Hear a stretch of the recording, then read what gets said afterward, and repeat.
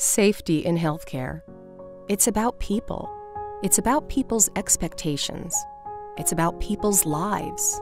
From the moment we arrive in a care setting, we expect that our doctors and nurses will heal us, that they will help us. We certainly don't expect they will harm us or make us feel worse. People may always understand the risks associated with healthcare treatment, but we still expect that we are in good hands, that we are going to be safe.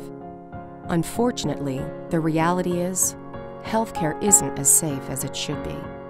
440,000 people are still dying each year from preventable medical errors.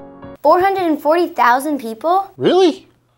440,000? 440,000 people? Famous people. Everyday people. And millions more people survive medical errors that should have never happened in the first place. So what are we going to do about it, people?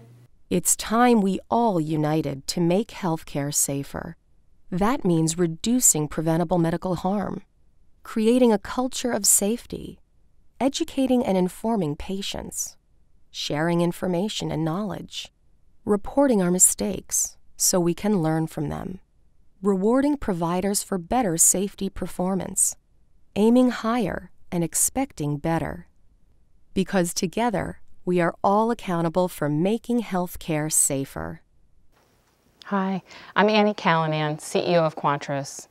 We are so proud to support the National Patient Safety Foundation in raising awareness to make healthcare safer.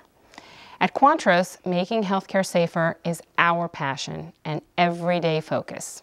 It never stops. We believe safety is about people doing the right things, being prepared, and staying informed. By helping thousands of healthcare providers throughout the country capture and account for care that's right and wrong, we're enabling a better way to measure and improve safety performance.